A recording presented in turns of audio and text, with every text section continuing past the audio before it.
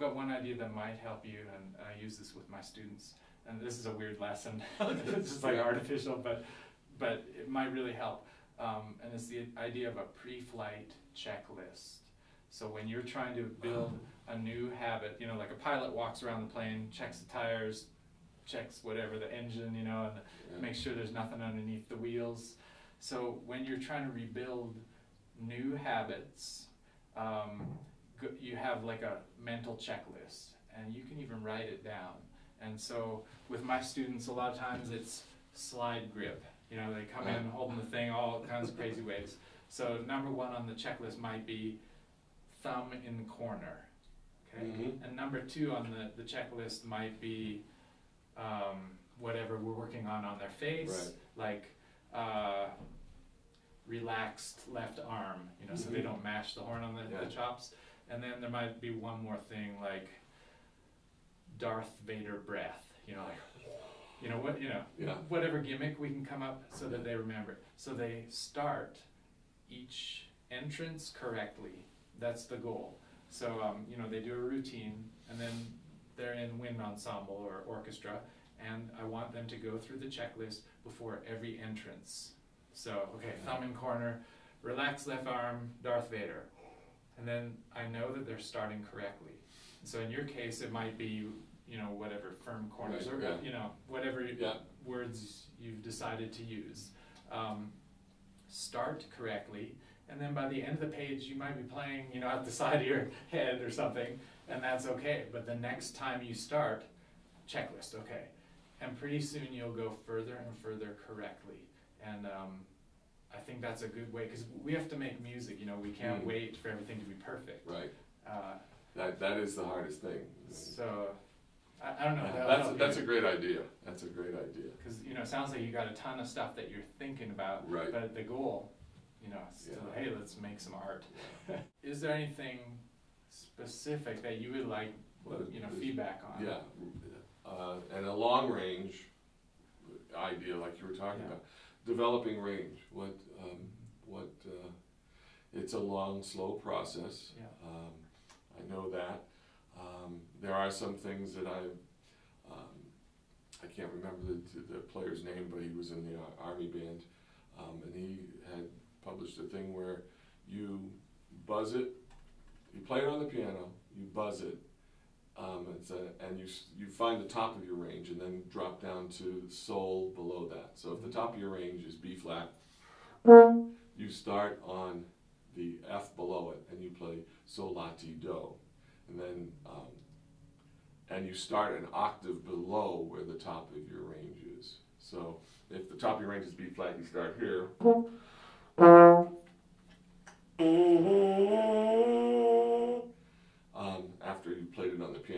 Piano, was for to get to hear it, and then.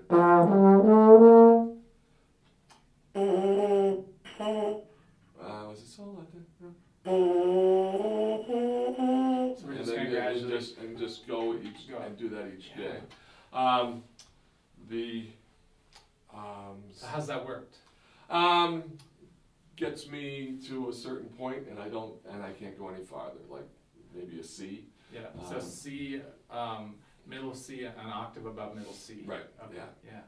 Yeah. Um, and I also found that I was really tense when I did it. You know, Uh-huh. when I got up because not having, um, well, you know, just your brain again. I was very tight. Yeah. Um, and then the other thing is the Remington um, five note, Yeah. five note, seven note, uh, seven Oh. note with the uh, uh, eight note with the seventh partial. That those exercises Okay. there. Um, can you slur higher than you can tum, Hmm, or is don't it about know. the same? Don't know. I think I can slur higher than I can tell.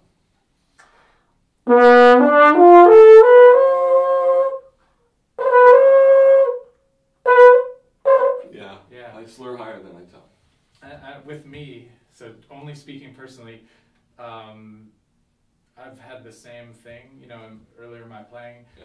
and um, usually that just means there's extra tension when I'm trying to tongue stuff, you know, and the air isn't going. But uh, y- you know, recently I've gotten into learning about Reinhardt stuff, the, the Reinhardt pivot system. Oh, really? And um, it's it's really complicated, but I think that something mechanical um, can affect the way we play range. Like, you know, why can a trumpet player play higher than us? I mean, Right. they're, they're not any more special. The mouthpiece is smaller. Right. Um, so something mechanical might need to change when we go higher. And by mechanical, I mean something might move. Right. You know, we need a smaller vibration to play the high notes. Um, and there's there's a video that I'm going to send you, and it's by David Wilken, who's one of um, I guess he studied with Doug Elliott a bit, and uh, he's got a bunch of videos, and one kind of explains the pivot system. And so when I was a student, I thought it meant Yeah. you know like Yeah. pivoting the horn, like you see some some players duck their head and do all that. That's not what it is. Um, from what I, my limited understanding is that your embouchure slides over your teeth, up or down, depending on which register you're in. Hmm. So your chops kind of move up and down Yeah. a little bit.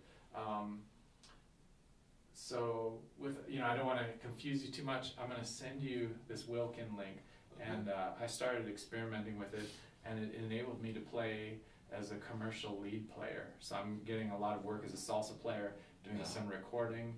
Um, you know, I have pretty much an octave that I never had before in the high range. Like I, I could barely hit you know high F Mhm. before, which is one of the reasons I, I gravitated towards Yeah. bass. And then I started experimenting with um, some of the Reinhardt ideas, and all of a sudden it was like, whoa, Huh. it's like screaming. Yeah. Um, and I, I haven't totally translated it to bass yet, um, but there might be some clues in there for you. Oh, that'd be great. Um, but you know, I mean, messing around with your embouchure, what you do sounds like it works up to around B flat, and then it just kind of cuts off. yeah. So that suggests to me, you know, just something doesn't want to vibrate. Maybe Uh-huh. it's in the wrong position. Um, but you know, that's kind of a long-term thing. Right. So, but there are some, I think, some safe things that you can do to experiment. Um, so one of them is doing rips upwards. So just to kind of see if you can get your chops to vibrate up there. Um, so when when someone has like a hard ceiling, it feels like oh, it just Yeah. stops working here.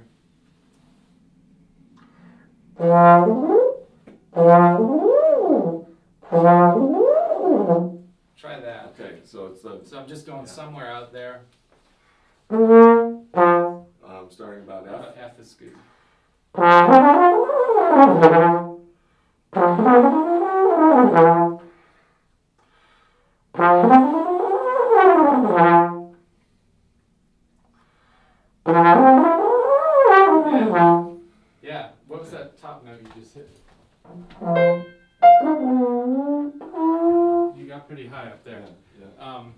so as you're doing it, it might tell you something about your air too. So this Yeah. is like this is the reverse drunken sailor.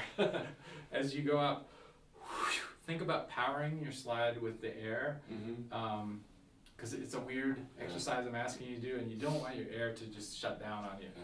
So just blow recklessly up there. That doesn't do it. and go for continuous sound in, as opposed to notches. Okay.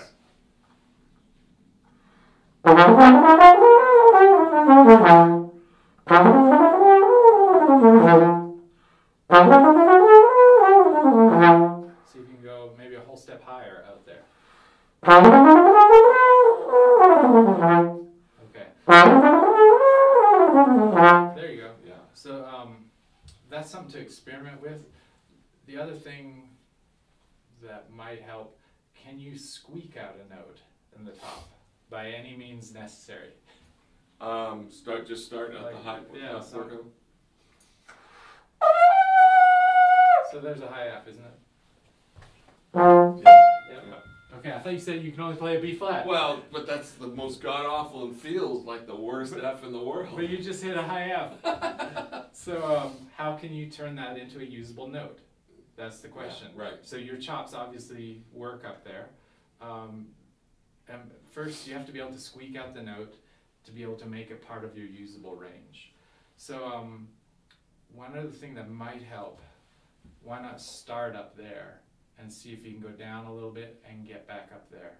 Uh, have you tried that? No, um, Because we're always trying to go low to high, right, and low often tends to be more open, yeah, and sometimes we don't get. You know, and this could be dangerous to say, but you know, sometimes you can get stuck in that oh, you know, low Right, or mid range, yeah. and things are just maybe too open.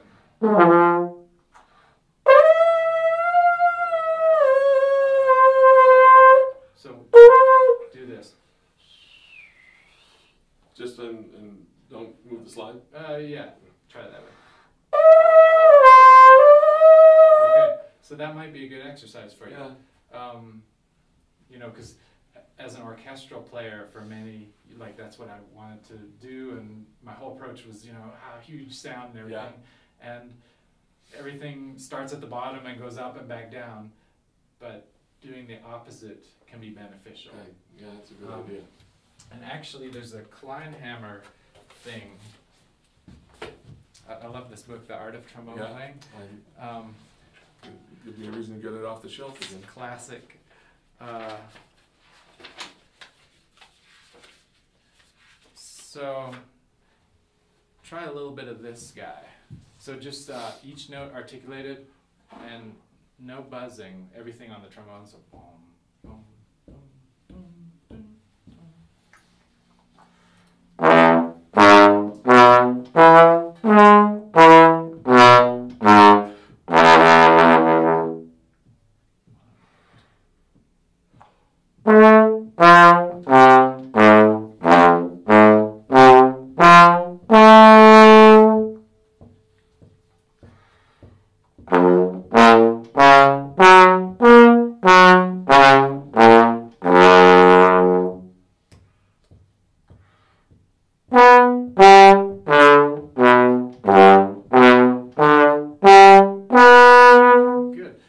skip to a little bit higher. So now we'll start on the D.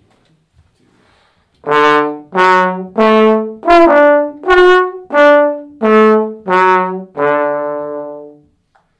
where did I just lose my spot? Now up to G.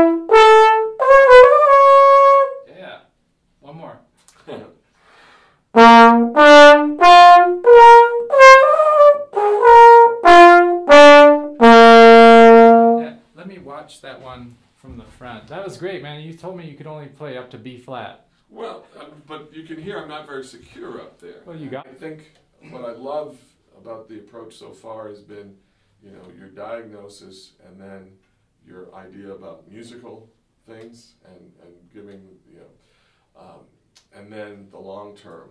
And uh, the other thing I'm taking away is, yeah, I need to start working on some rap too. Um, the when I go back over the video, so many of the, the pinwheel and everything else are going to be very, um, very helpful.